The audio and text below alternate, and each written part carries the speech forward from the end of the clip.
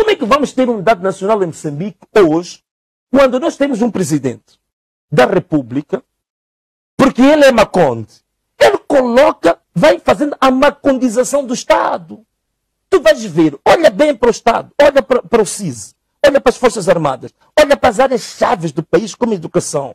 Tu vais ver que é uma tendência da macondização do próprio Estado. A ministra da Educação, por exemplo, o que ela está a fazer e deixar fazer com a educação em Moçambique não é uma questão de um mero erro administrativo, pedagógico, como estão a tentar compreender, fazer compreender. E até vão pressionar alguma dessas editoras para assumir a responsabilidade por ela. Nada disto. O que ela está a fazer, eu considero um crime, um crime contra uma geração inteira. Nós estamos, não estamos a ter ideia do que, que nós estamos a fazer com essa juventude atual e com as próximas gerações. Estes erros são cometidos nestes, nestes livros. Eu digo de forma clara, estes são um crime de lesa pátria.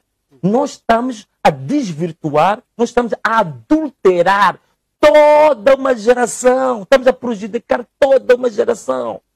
E estamos a demonstrar também que não temos absolutamente nenhuma visão com a educação em Moçambique que não há interesse absolutamente nenhum de tomar a educação como um setor chave e sério.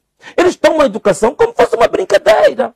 A mesma brincadeira, se quiser, fazem numa barraca aí com os copos uns com os outros. Fazem com a educação a mesma coisa. Dizer, não estão a tomar a educação como um assunto sério. Vou dar um exemplo, Marcelo.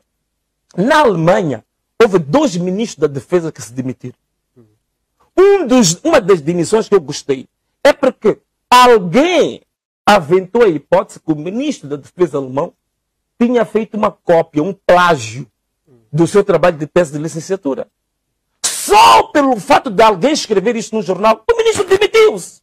Agora, aqui, temos uma ministra a, a escangalhar a educação, a prejudicar toda uma geração, a cometer um crime para o futuro, um crime, até pode ser um crime contra a humanidade. Mas está impávida e serena pura simplesmente porque encaixa-se muito bem na teoria da macondização do Estado do próprio Presidente da República. Porque também, não só, porque ela própria também é casada com um antigo combatente. Olha aquela divisão que se foi feita dos antigos combatentes. A sociedade moçambicana, a juventude moçambicana, pela Frelimo, está dividida entre os filhos de antigos combatentes e os não filhos. Portanto, há uma tribo que chama-se a tribo Frelimo e há uma tribo que é a tribo Povo. E a tribo Povo está constantemente humilhada, subjugada, cuspida e pisada pela tribo Frelimo. Uhum. É assim como eles dividem o país. Uhum. Portanto, não há unidade nacional, não há perspectivas de educação, não há valorização da cultura, o país está a resvalar cada vez mais para o precipício, estão a enterrar o país em todos os aspectos, quer dizer, estão a levar o país para um ponto que eu não sei exatamente qual é que é o objetivo. Talvez eles sejam masoquistas. Sabe o que é um masoquista? Não, ah? Um sadomasoquista. O sadomasoquista é aquele que tem prazer em fazer sofrer o outro.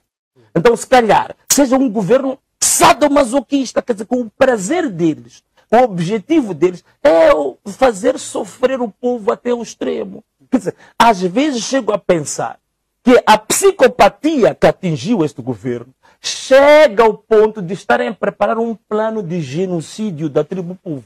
Provavelmente haja isso.